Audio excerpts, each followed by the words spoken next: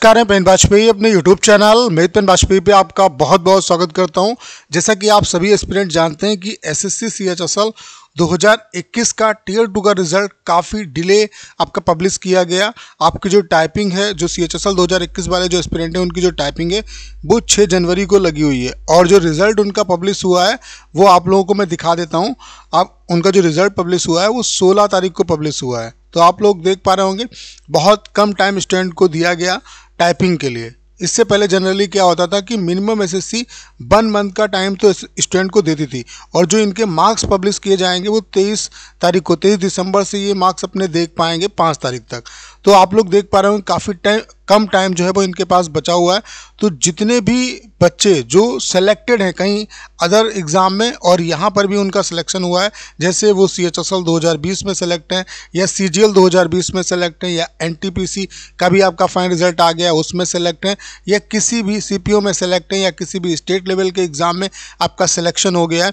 तो आप सभी एस्पिरेंट से हाथ जोड़ के मैं रिक्वेस्ट करता हूँ कि जो इनकी टाइपिंग छः जनवरी को होने वाली है उसको आप स्किप करिए। वैसे भी इनका बहुत ज़्यादा नुकसान हो गया है, क्योंकि नुकसान इस वजह से हुआ है। आप भी इस चीज़ को समझ सकते हो कि मान लेते हैं यूआर की कट ऑफ़ वन लगी है, ठीक है? अब इनके जो मार्क्स आएँगे वो तेईस तारीख को आएँगे तो स्टूडेंट उसके पास दो ऑप्शन है। या तो वो टाइपिंग की प्रिपरेशन करे, या वो तेईस तारीख को अपने मार्क्स देखे, उसके बाद उसका इंतज़ार करे। उसके पास इतना टाइम नहीं है, क्योंकि या तो वो एक ही चीज़ कर पाएगा। नहीं तो टाइपिंग उसका क्वालिफाई नहीं होगा। और अगर उसके पास दस नंबर का भी बेटेज नहीं है, मान लेते हैं टीयर टू में इतना मार्क्स नहीं आता है कि दस नंबर का भी उसका बेटेज हो पाए तो उसको फिर दिक्कत हो सकती है, क्योंकि दस नंबर का तो मिनिमम बेटेज होना ही चाहिए अगर आपको फाइनल सिलेक्शन लेना है। तो वो ना इधर का रहा, ना उधर का रहा। कम से कम वो बच्चे जिनके पास बेटेज नहीं है, वो ऑलरेडी जो कंपटीशन है उससे बाहर हो जाते हैं। लेकिन यहाँ पर उनके पास ये अपॉर्चुनिटी एस काफ़ी उन्हें लेट प्रोवाइड करा रहा है। तो बस आप सभी से यही कहना चाहता हूँ, जो भी बच्चे सेलेक्ट हुए हैं, कि सी एच एस एल दो हज़ार इक्कीस बाईस के जो एस्पिरेंट हैं, उनका काफ़ी यहाँ पे नुकसान भी हुआ है। ढेर सारे बच्चे बच्चे जो हैं, वो टाइपिंग से यहाँ पे बाहर होंगे क्योंकि स्टूडेंट कहीं ना कहीं कंफ्यूज हैं कि उनका होगा या नहीं होगा।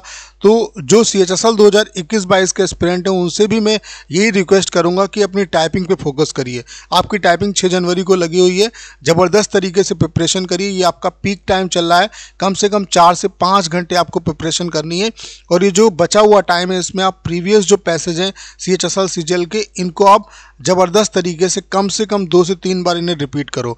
तो इसके लिए आप हमारा कोर्स भी ज्वाइन कर सकते हैं। अगर आपको कोर्स ज्वाइन करना है तो करना क्या है? Six three zero seven one eight five six double nine इस नंबर पे आप व्हाट्सएप पे मैसेज करके इन्फॉर्मेशन ले सकते हैं। फ़िलहाल ये वीडियो मैंने इस पर्पज़ से बनाई है कि जो भी बच्चे, जो ऑलरेडी सेलेक्ट हैं, चाहे वो सी एच एस एल दो हज़ार बीस में सेलेक्ट हों या दो हज़ार उन्नीस में सेलेक्ट हों, या सी जी एल दो हज़ार बीस में सेलेक्ट हैं या दो हज़ार उन्नीस में सेलेक्ट हैं एन टी पी सी का भी रिज़ल्ट आया, इसमें सेलेक्ट हैं।